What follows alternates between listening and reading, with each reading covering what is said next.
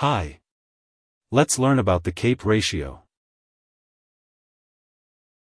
The CAPE ratio is a valuation measure that uses real earnings per share over a 10-year period to smooth out fluctuations in corporate profits that occur over different periods of a business cycle. It is also known as the Shiller P/E ratio.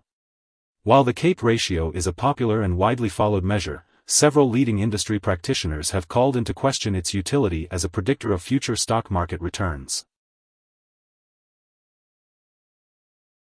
The CAPE ratio is calculated by dividing the share price by the 10-year average of inflation-adjusted earnings.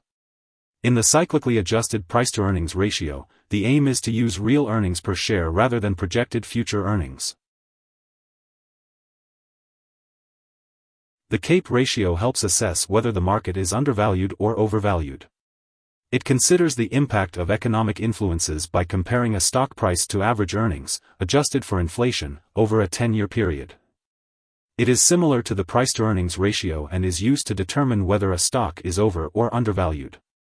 Few companies can maintain steadfast profitability in the face of a deep recession, so the CAPE ratio is used to analyze a publicly held company's long-term financial performance. The CAPE ratio initially came into the spotlight in December 1996, after research suggested stock prices were running up much faster than earnings. The CAPE ratio for the S&P 500 climbed steadily as the economic recovery in the US gathered momentum, and stock prices reached record levels. The elevated value of the ratio triggered a raging debate about whether it portends a major market correction. Critics of the CAPE ratio contend that it is not very useful since it is inherently backward-looking, rather than forward-looking. Another issue is that the ratio relies on GAAP earnings, which have undergone marked changes in recent years. Here are three key takeaways. 1. The CAPE ratio is used to analyze a publicly held company's long-term financial performance while considering the impact of different economic cycles on the company's earnings.